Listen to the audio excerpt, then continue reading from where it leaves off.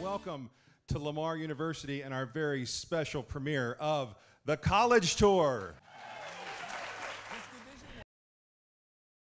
Those Cardinals were excited. Lamar University rolled out the red carpet for the exclusive premiere of the College Tour last night.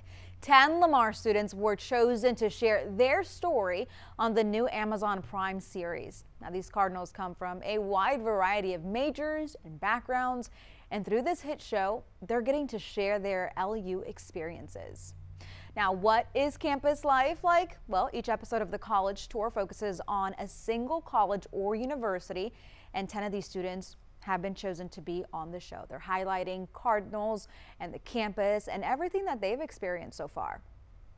I think a lot of people see Lamar University as a commuter school, kind of just somewhat like a community college, and we're not. We're a Division One university.